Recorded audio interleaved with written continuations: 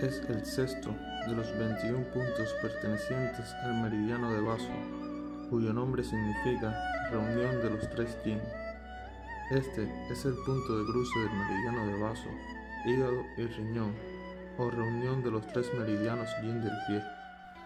Localizado, si tomamos como referencia la prominencia del malleoleo medial, el punto se localiza a 3 kun por encima de este.